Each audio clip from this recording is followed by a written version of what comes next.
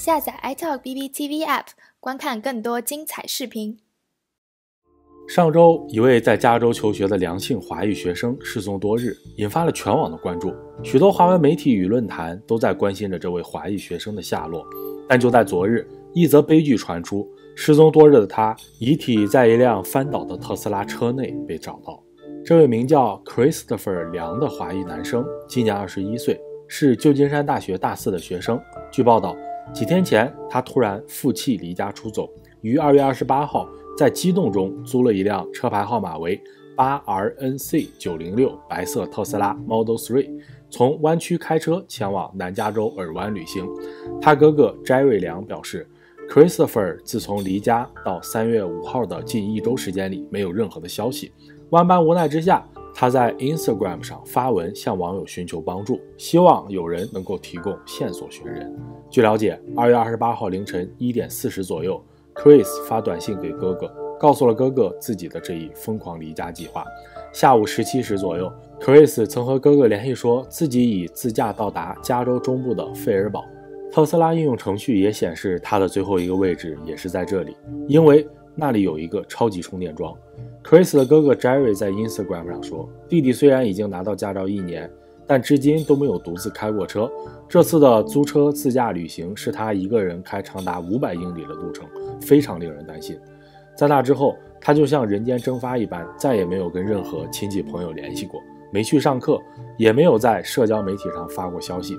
在尔湾等待他到来的朋友表示，一直没有等到他。那辆白色特斯拉 Model 3也没有退还给租车公司。据他的哥哥 Jerry 称。Chris 还有一些精神健康方面的问题。他说，这次旅行非常疯狂。Chris 去年三月拿到了驾照，从那以后他就再也没有开车了。他从来没有从加州一路开到南加，也从来没有一个人订过酒店，只是租了一辆特斯拉，非常的奇怪。为此，家人们万分着急。除了在 Instagram 上发布寻人启事之外，在电视上也发布了相同的信息，并为此还专门建立了一个寻人网站，寻找他的弟弟。对于提供找到线索的人，梁的家人愿意提供一万美元的奖金。另外，Jerry 还组织了搜救队，沿 Chris 本该经过的五号公路南下，搜寻这辆白色特斯拉的踪迹。但很可惜的是，一切努力都为时已晚，因为悲剧已经发生。加州弗雷斯诺县警长向媒体表示，失踪多日的 USF 大学生 Chris 梁被发现在他租来自驾的特斯拉车内，已经没有了生命体征。克里斯梁于上周一失踪，他原定于上周三将租来的车归还给租车公司。当地时间三月五号，加州公路巡警收到报案，称在洛斯巴尼奥斯以西的帕诺什路上发生了一起车祸，有汽车的残骸在路边。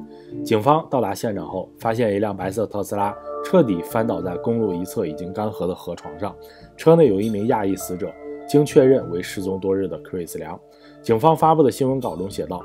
梁以未知的速度向西行驶，车辆因未知原因冲出道路，并跌下悬崖，翻入河床中。目前尚不清楚事故是何时发生，也不清楚事故是如何发生的。